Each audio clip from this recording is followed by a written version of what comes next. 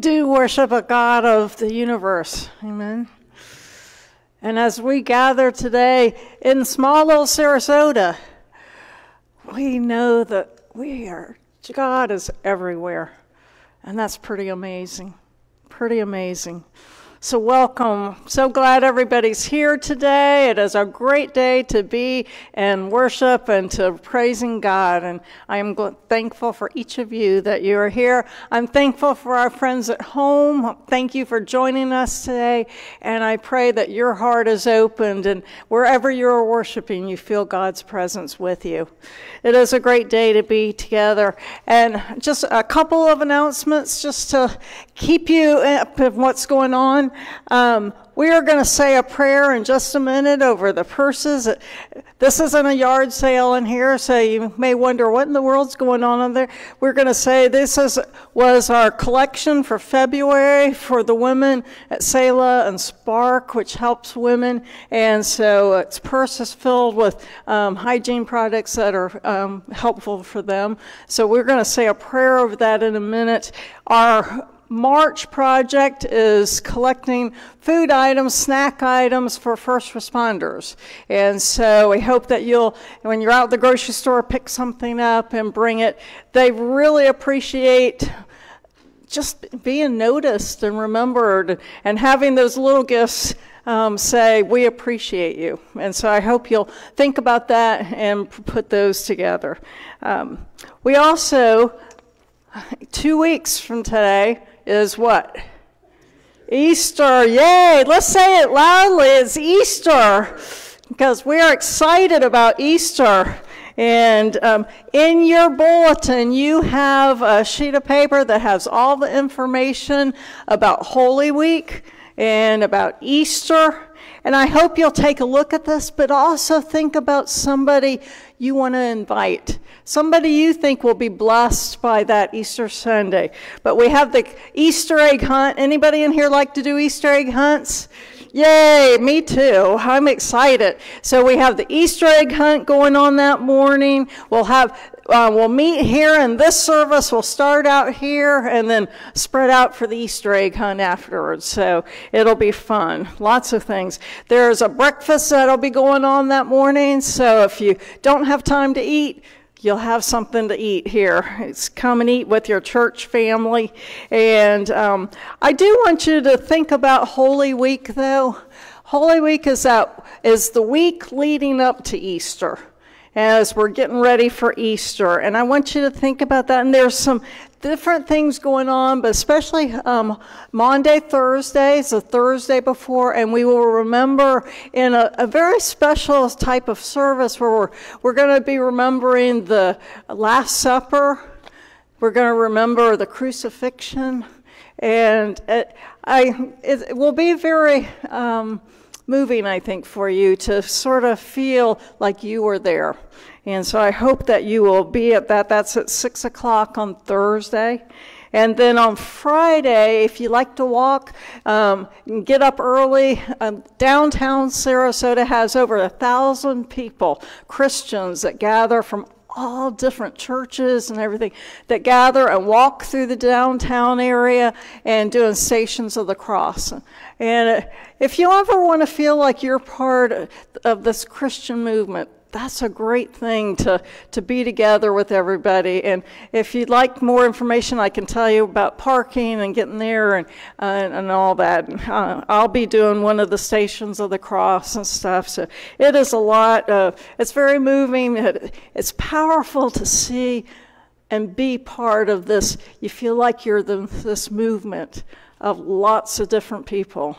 And it reminds you that, wow, this is something special. So I hope you'll think about being a part of that as well. Um, and then, of course, Christmas, Christmas, Easter worship. We will do Christmas eventually.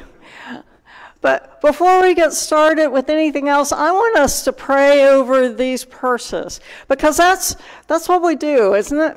As we think about other people and that are in different situations, maybe having difficult times, and we think about them and what we can do to let them know more than anything they're not alone.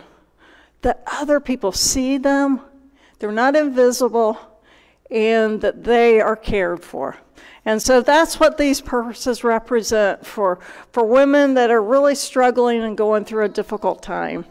So, would you just sort of extend your hands toward these purses and let's pray over them?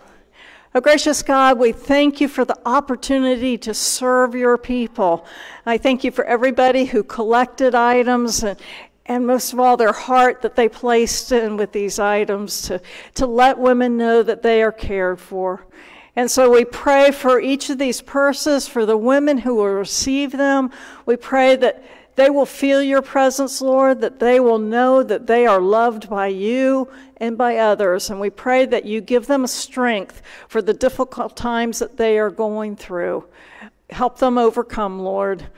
They can do it with you with them.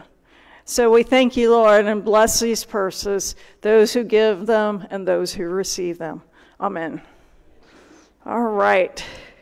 All right, so we're going to start with our response. And each week we have a different response. So this is your response this week, all right?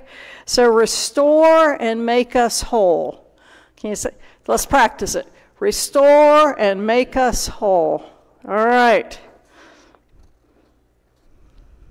Lord, we come before you broken and shattered. Restore and make us whole. Life is so much harder than we thought and wanted. Life pounds us, breaks us, leaves us in pieces. Restore and make us whole. We, come, we make mistakes. We make bad decisions. We don't do the right things. restore, and make us whole. We are sorry when we hurt others, either by doing something against them or by not doing anything at all to help. Restore and make us whole. It is your resurrection that teaches us there is hope in all things. We can be made new. Restore and make us whole. Thank you, Jesus. Amen.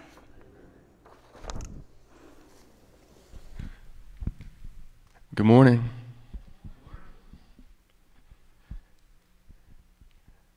The Bible says if anyone is in Christ, they are a new creation. The old has gone and the new has come. The author of those words, Paul the Apostle, knew those words to be sincerely true he had experienced those words. Before he was Paul the Apostle, he was Saul the persecutor. He absolutely hated Christians.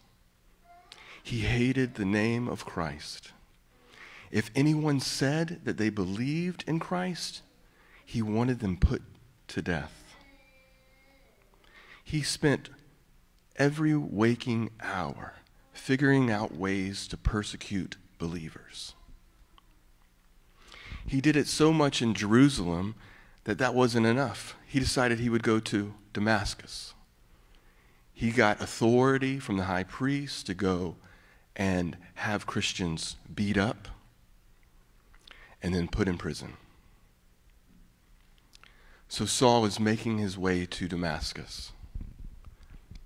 And as he's approaching Damascus, there's this light that shines all around him. And it's so bright, it blinds him. He falls to the ground and he hears his voice. And the voice says, Saul, why are you persecuting me? And Saul says, Who are you, Lord? And the voice says, It's Jesus, the one you are persecuting. Now go into Damascus and wait. So Saul is blinded. He can't see, so his companions have to pick him up and take him to Damascus, where he waits. In the meantime, Jesus calls out to Ananias in a vision. Ananias is a faithful believer who lives in Damascus. He says, Ananias. And Ananias says, Here I am. Ananias, I want you to go and find Saul. And when you get to where he is, I want you to lay your hands on him and heal him from his blindness. And Ananias says, Lord, I, I'm sure you probably already know this, but that man is a bad man. He hates believers. Anyone that says they believe in you, he wants them to be put to death. Jesus says, Ananias, go. For I have chosen this man to be a vessel for me. And yes, he will suffer, but I will use him greatly. Go. So Ananias finds Saul. He's on Straight Street and in a house, and he's waiting for Ananias. Ananias goes in and says, Brother Saul, I have come in the name of Jesus, the same one you met on the road. And he lays his hands on him and heals his blindness. Shackles, the Bible says. They scales they fall from his eyes. He's set free from his blindness. He's filled with the Holy Spirit, and he's baptized. Hmm. Now, fast forward. Years and years go on, and he becomes Paul, a missionary, a writer, someone who no longer persecutes, but is being persecuted. He suffers greatly. And in one of those stories, He's in, he's in Philippi and he has been arrested for his ministry in Jesus, for witnessing to the truth of Jesus. He is put in prison. He's not only been put in prison, but they've put him in the inner cell. They've told the jailer, Be careful. Do not let this one go. Paul is there with Silas, his friend and companion in ministry, and you would think they'd be kind of bummed out. They're in prison, they've been beaten and flogged, and yet in prison, in the middle of this inner cell, they are singing songs to God. They are praising his name. No complaining, just prayers. And they're saying them out loud. So all these people in the outer cells are witness to the truth. These two men are bearing witness to the glory of the resurrection of Jesus. And they won't stop. In fact, it comes close to midnight and they're still going. And all of a sudden, there's this earthquake. And the foundations of the prison are shaken. So much so that the prison doors all open up. The chains are busted, they become loose, they're broken. Everyone is free from the prison, free from the chains. And when the jailer realizes this, he is so fearful because that was his one job. That's what he had to do, making sure no one escapes. And so he gets out his sword to hurt himself. And at the last minute, Paul says, Wait, don't hurt yourself. We are all here. the jailer says, Lights! Calls for the lights. And sure enough, everyone, even though the prison doors are open, the chains are broken, everyone is still there. And he runs into where Paul and Silas are, and he falls down. And he says, Sir, what must I do to be saved? And Paul says, Believe in the Lord Jesus Christ, and you will be saved.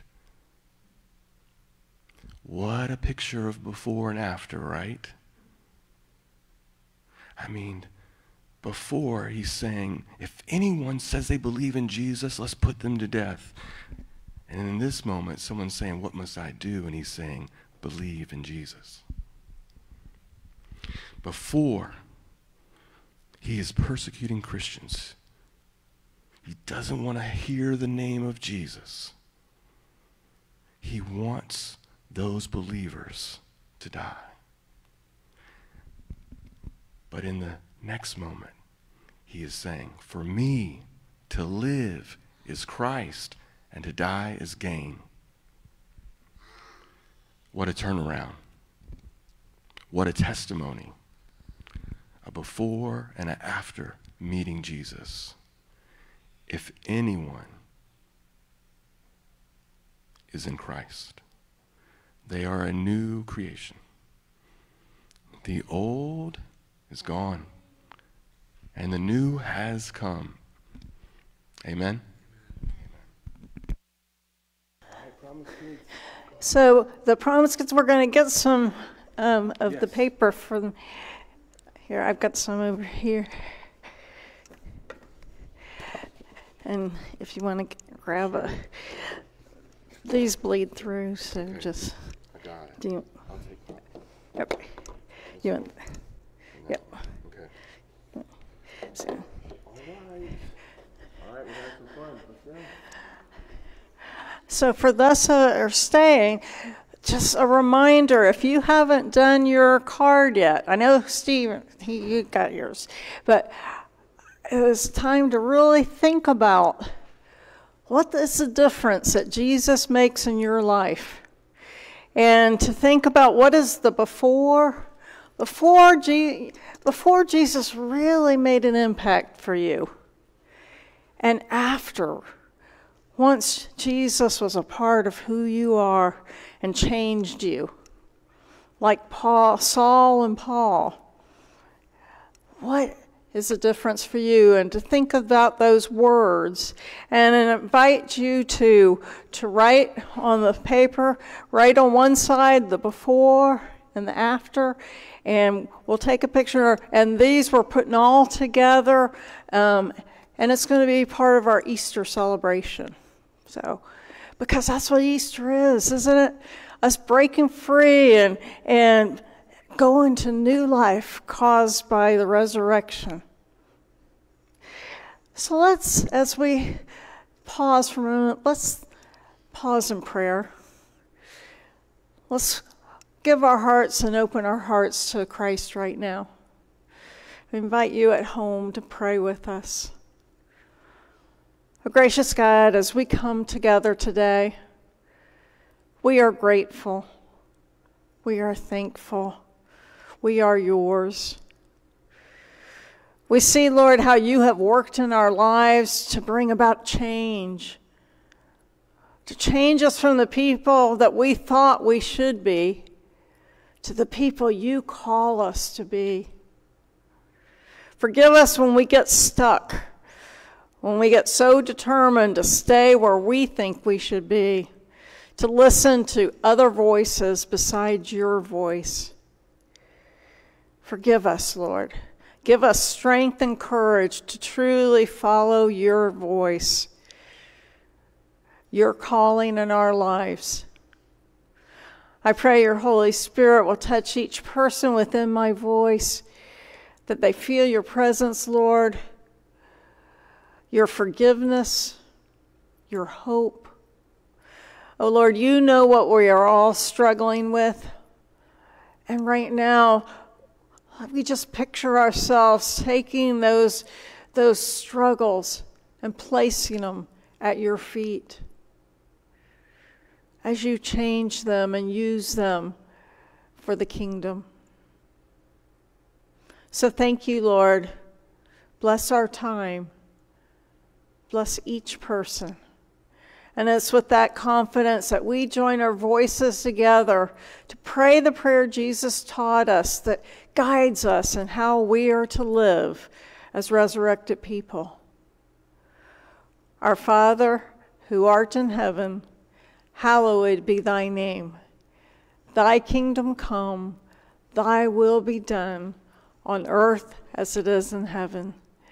Give us this day our daily bread, and forgive us our trespasses as we forgive those who trespass against us. And lead us not into temptation, but deliver us from evil. For thine is the kingdom, and the power, and the glory forever. Amen. So, we've been talking about resurrection. We've been looking at people's lives who, who were changed by the resurrection right after the resurrection. How Jesus sought them out. We've looked at Mary Magdalene. We've looked at Simon Peter. Who else have we looked at? Um, we've looked at the road to Emmaus. We've, we've looked at all these. And today it may seem a little strange because we're looking at Saul. How many of you have a, an, one of the old Bibles that have the red letters where Jesus writes it? You know, when Jesus' word says anything, it's in, it's in red, right? Okay. So where, where do you find most of that? Where, in the Gospels, right? That's where it's all read, where Jesus is talking. Because it can't be after that, because Jesus died and was resurrected, right? But go look at Acts 9. The scripture that, that um, Russ just really said for us, reminded us. Because there in your red letter Bible, you will find the red letter words of Jesus talking to Saul. Because this is another time in which Jesus um, appeared and sought out another one of his followers. And it wasn't just in the, those three days after the crucifixion or the resurrection. This is four to seven years after. So let's think about this. What do we know about Saul? What do y'all know about him?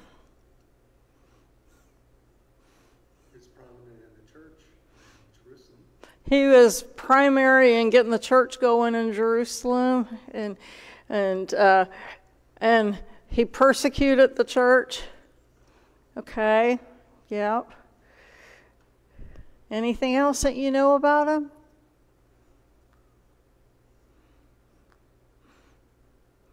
Well, we know that he was from a strongly Jewish family. He grew up Jewish. They were instrumental in the temple in Jerusalem.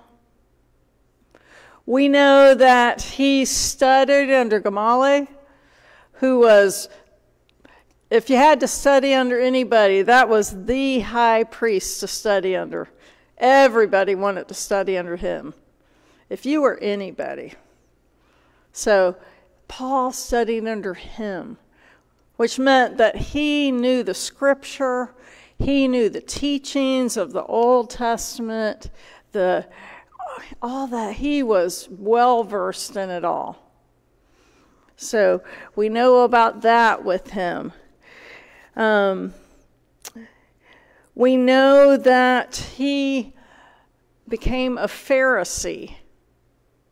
And a Pharisee is not clergy, not trained, they are laity. Laity groups, sort of interest groups that started forming, and all the Pharisees were determined that the law of the Jewish law should be kept pure. And they became somewhat zealous sometimes, going a little overboard. Do we know groups like that today that go a little overboard in their point? So he, they went overboard to make sure people followed the Jewish people, uh, the Jewish law. So we know he was a Pharisee. And we know his name changed at one point. We're calling him Saul, but Paul is a name we know of him, that in the Bible, most of the New Testament was written by Saul, by Paul.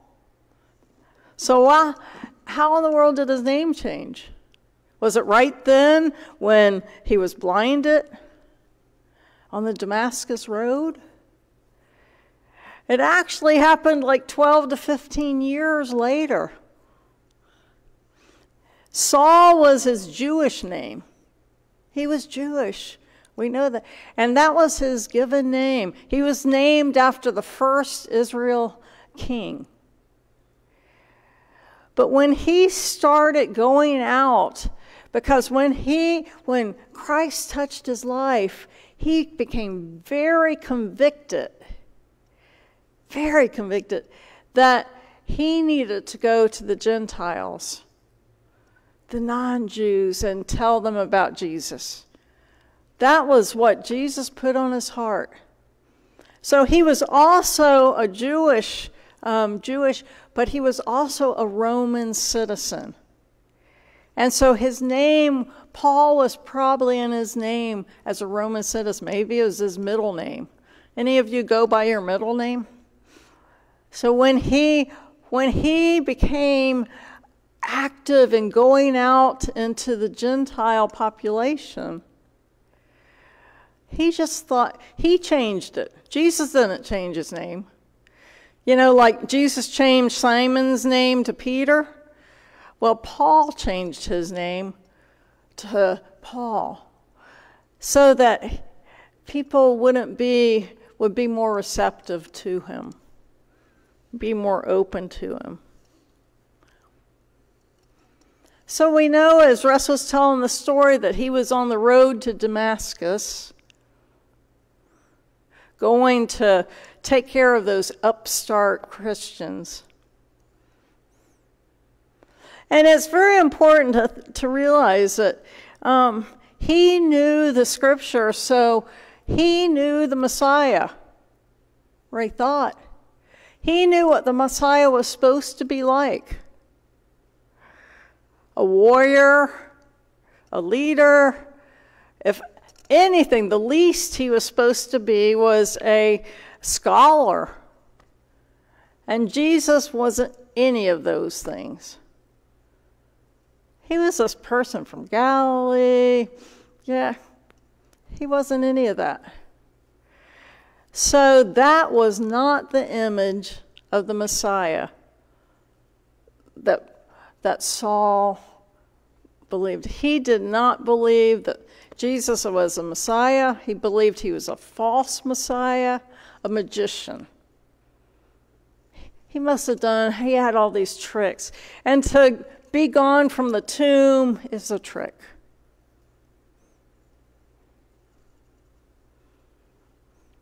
He was blind to who Jesus was. So, how many times we see that along the road he was blinded? How many times do we get blinded by things? Do we have a lot of blindness where we see people only a certain way? We don't see them in any way. Think of all the isms racism, genderism, sexuality, um, anything. We have blinders to people. A friend of mine told me about her cardiologist. It's a woman cardiologist, and she said she was in visiting this man. He'd been in the hospital 10 days, and he was not in a good mood and he was complaining to her that I've been here 10 days and a doctor has not come to see me once.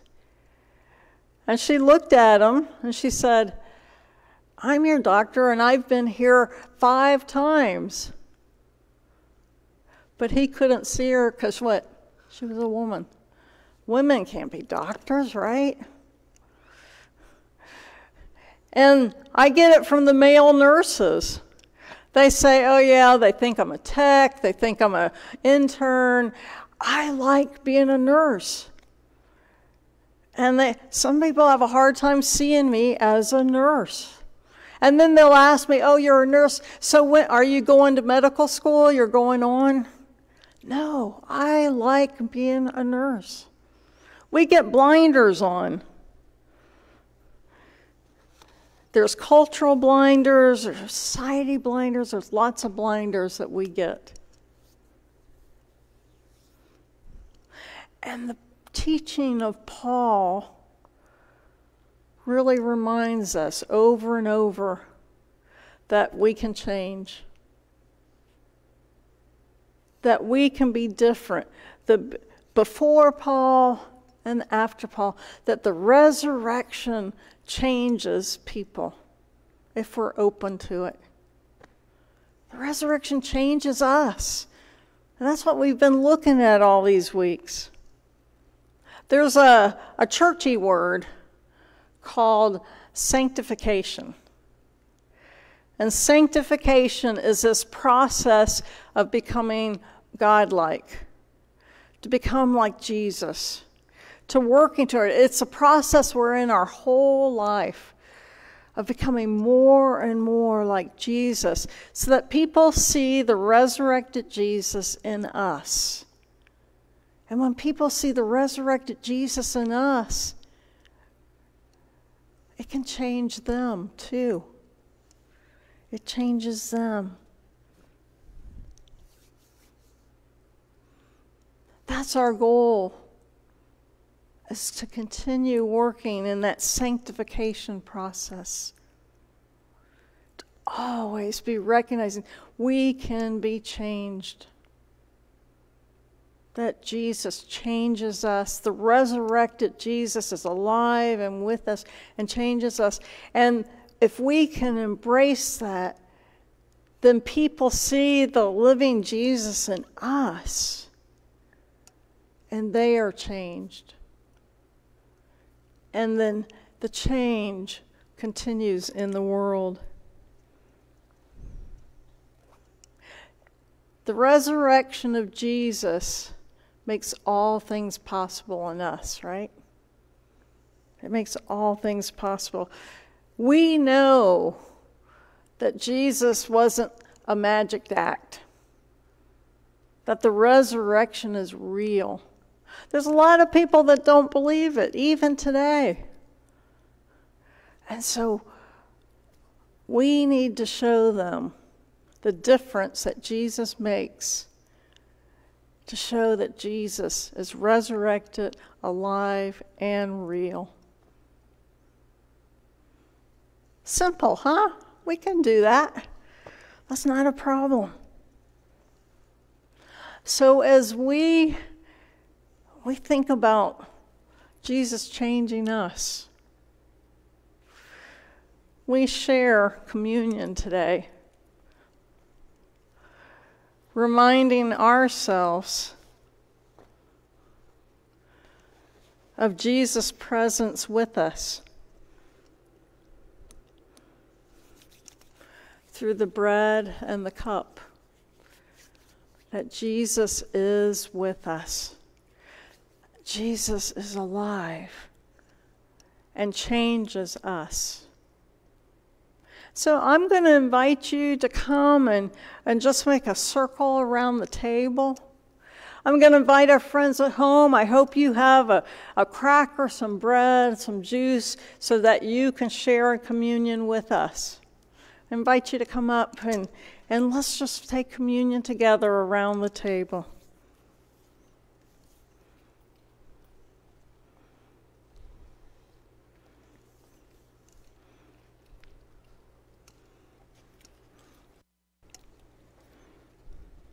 We remember how Jesus gathered with us,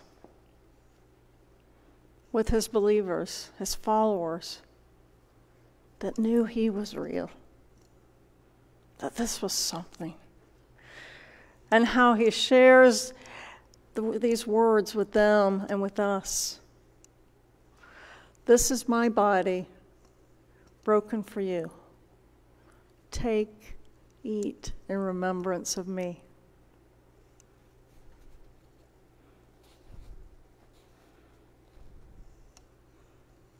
For our friends at home. And then he took the cup, giving thanks to God. And he said, This is my blood poured out for you, for many, for the new covenant, for the change in the world. Take, drink in remembrance of me. Let's pray. Holy Spirit, we lift up this cup and this bread to you. And as you touch them, and they become the mystery of grace because your presence is here, alive, changing us. May our hearts be open to receiving you, making you real for all the people that we meet. Amen.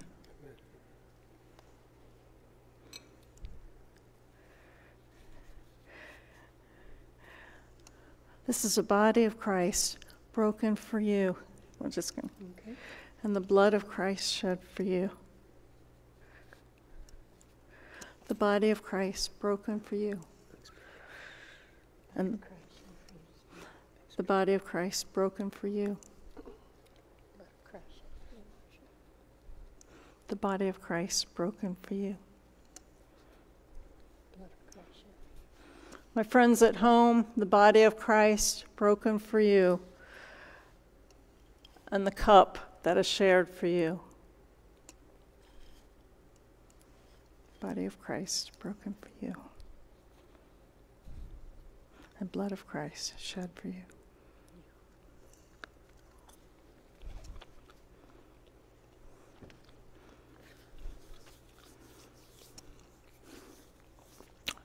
Let's pray together. Thank you, Lord. Thank you for always being with us, for reminding of your presence in our lives, reminding that we are different. We are not just who we thought we were, but we are yours. And you call us to share you with our actions, our words, that people can see the resurrected Christ here, now, making a difference in all lives and in the world. So empower us, Lord, to be your people, to share your grace, and to be thankful. Amen. Amen. As you're going to your seat and as we're leaving, we're going to be um, singing Amazing Grace and just spend a little time, whether you're in your seat or as you're walking, just thinking about what these words mean. That God's grace has been for us, and all those things that hold us back, our isms, our blindness, are broken. And we are freed to be the people Jesus calls us to be.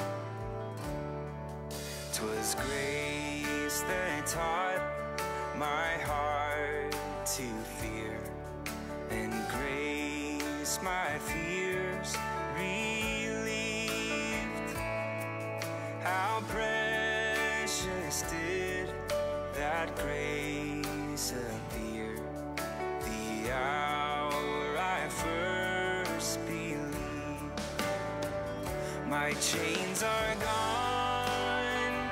I've been set free. My God, my Savior has ransomed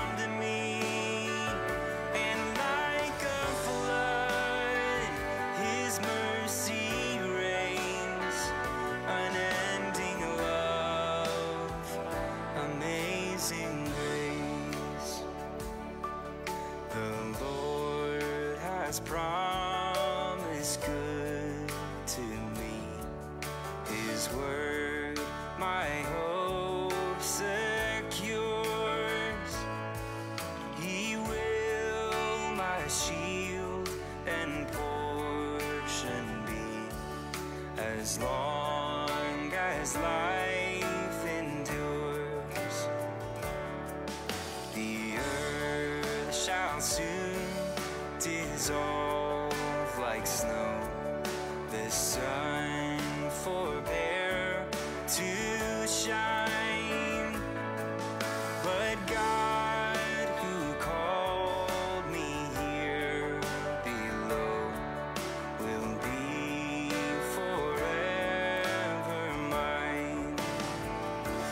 chains are gone.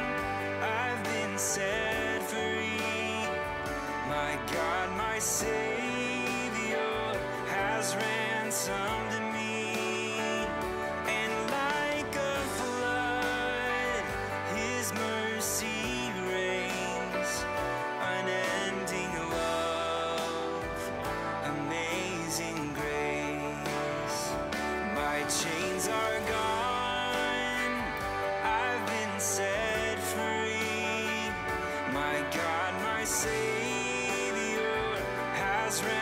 ransomed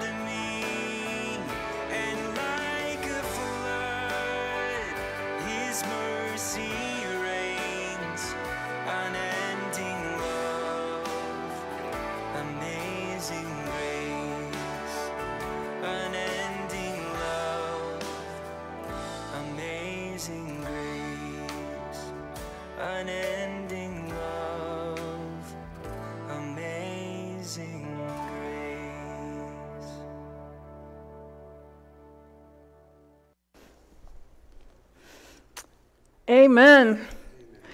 Go out and be that amazing grace in the world. I'm glad you were with us. Amen.